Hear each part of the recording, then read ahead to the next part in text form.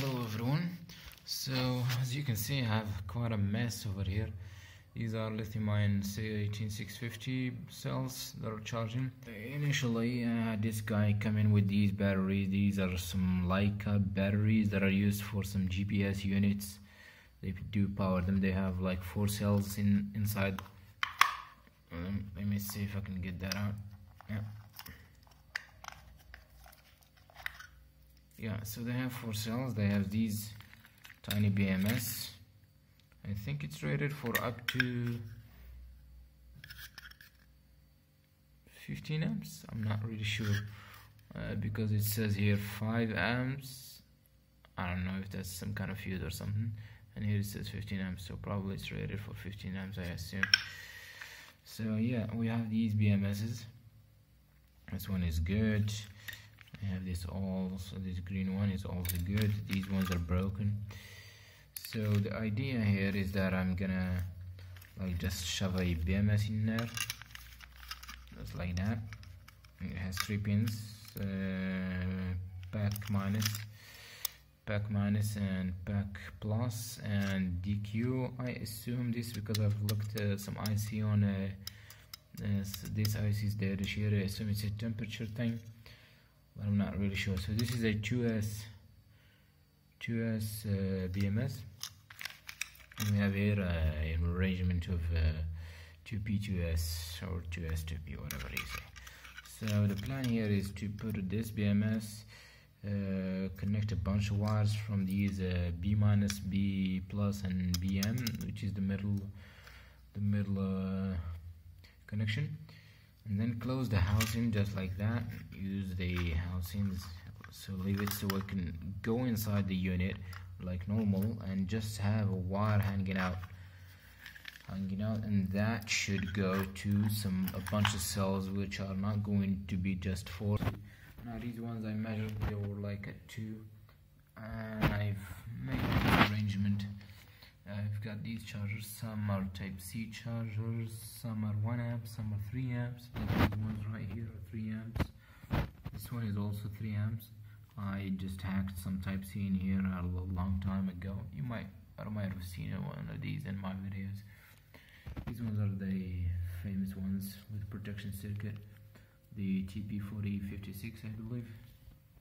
So yeah I got this charging using this uh, Rook charger that is 5 amps so it'll give it'll be able to provide 3 amps for this one. I'm not sure if the cells are going to handle that or not but yeah. I don't know. I'll just leave them there until they charge. Uh, and then I'm gonna make an arrangement of like uh, 2S, uh, 6P or something or 8P I'm not really sure yet. And connect a bunch of wires and as I said uh, the plan is to make some wires go into the BMS to the house inside the housing and the housing would go inside the unit and the battery will be left out. So that's the whole idea to give the guy a, like a longer mm, uh, use of his battery for his work. He's soon doing like these kind of civil engineering stuff for like uh, related to taking measures and uh, coordinates using GPS and whatnot. So here you go guys, this is an update of what I've been doing, um, what I talked about in the previous video. Now as you can see I found some good cells, uh, they had a uh, roughly a good voltage on them, so I've charged them using the circuits that I had. Uh, this is uh, one of the circuits, it's a charging circuit uses type C here 5 volts and then it gives you 4.2 volts at the output so you can charge your lithium ion batteries. So yeah as you can see I found some uh, these are like 6 here in parallel. I've put them in parallel using those wires as you can see. Here's the negative side and this positive side and we're gonna put them in series with other is another 6 I still haven't soldered the wires to these.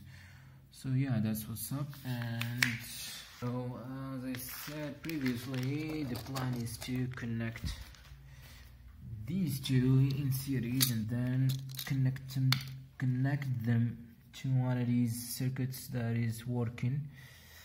Mm, like you see on this one it has a b b minus over here b plus and then bm which is the middle uh, connection yeah and it'll give you a pack plus and a pack minus and a dq it is some kind of temperature stuff.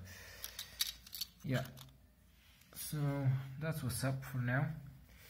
And I'll do another update whenever I finish this thing because I can't film while I'm doing it uh, since I only got two hands. This is one and the one holding the phone. This is a phone by the way OnePlus 3T that I'm filming with and yeah. Mm, that's all about it. For now. Hello everyone again. So sorry for this mess but it's how it is. So where we are we've uh, built our pack. As you can see these are uh, this is a uh, 2s 6p or 6p 2s whatever so we have six uh, cells in parallel with uh, two in series. Two of those in series. So as you can uh, see this is the middle point. And here we have our positive on the top and the bottom one is our negative. and we're using some speaker wires to connect this. I've wrapped it all with this uh, kind of uh, tape this tape right here and now I'm preparing the the housing of the original battery. Uh, yeah so I've put the board in there with some hot glue stuck in there and soldered the uh, terminals over here. These are for uh, pack plus temperature and pack minus over here. Then I'm gonna solder the three terminals of the battery the three wires to B plus BM and B minus and then I'm gonna close all that and just have the wire hanging out from here.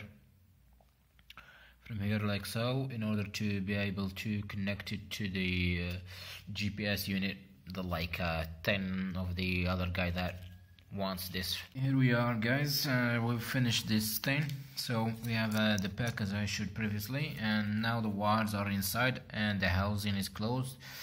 Here are its terminals you can see it's very light because it only has the circuitry this thing this thing inside with the wires connected to it from the inside. And this is going hanging out from here. And we're getting our uh, voltage uh, our very good voltage. I'm not sure if I can do that one-handed. Let me give it a try. So yeah we're gonna do something like this and then something like this and then something like yay. And we're getting our uh, 8.38 volts which indicates that the cells are uh, charged up mm, around 4.2 for each uh, series pack which is good. And that's what this is so instead of having only one of these guys with four cells like so now we're having like 12 cells. Or we're having like triple the power. Yeah mm, so this is triple the power that this used to have. Hopefully these cells are good enough so they can stand some long sessions of uh, work if not we're gonna have to get some brand new ones like 3000 milliamps or 2600 milliamp brand new ones which are a bit expensive. And we're gonna need also some uh, spot welding spot welder to have these connections. That, uh, this was one of, one of the main reasons why I opted for older batteries well, firstly because they're cheap and second because of these connections since these ones already come with uh, this solder to them and these are just easy. You can just scratch them a bit or sand them a little bit and you can solder to them easily without damaging the cells. So yeah that's one of the reasons. But if didn't didn't if this didn't work out so well we're gonna have to get brand new cells and check someone who has a spot welder to do the welds for us. And then we can uh, go from there. So yeah this is pretty much it. Uh, hopefully if this has been enjoyable for you to watch and thank you for uh, sticking to the end. Bye for now